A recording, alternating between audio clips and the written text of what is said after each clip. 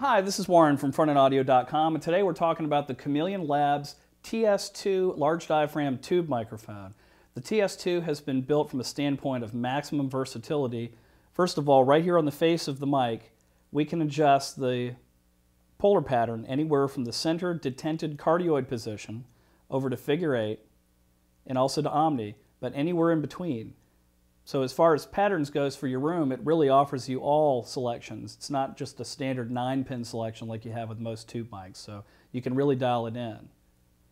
The TS2 ships with this suitcase, shock mount, seven pin cable as well, as well as a windsock. On the power supply of the TS2, we find even more features available. You got your standard power, standby switch as well. There's a calibrated position on the voltage that's being sent to the heater for the tube.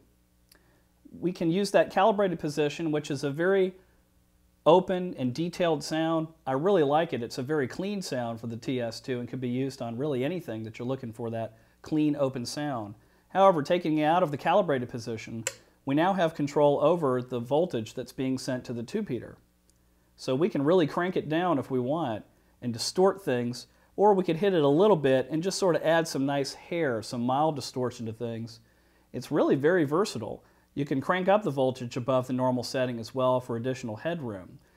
So the TS2 will give you everywhere from a clean and detailed sound down to a distorted sound to just adding a little tinge when you just need maybe a little edge to a vocal or an acoustic guitar. I find the TS2 to be a very, very versatile set. For more information on the TS2 and for all your pro audio needs, Check us out online at frontendaudio.com. Thanks.